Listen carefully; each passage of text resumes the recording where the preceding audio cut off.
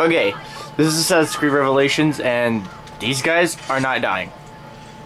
And instead, his assassins are. He's lost two assassins so far, and he's assassinated these guys about four times over.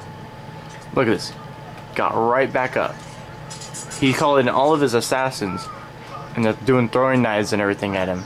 Nothing is affecting these guys. Pull out the gun.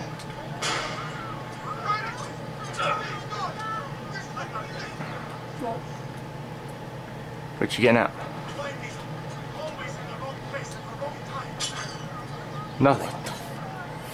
See those throwing knives? Those are his assassins. Dude.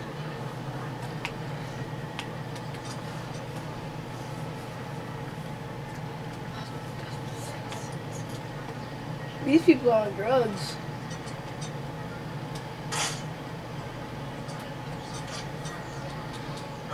Nothing affects these guys.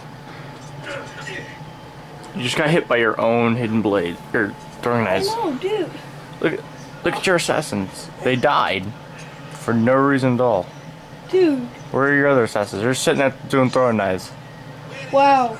Now I don't have my assassins anymore.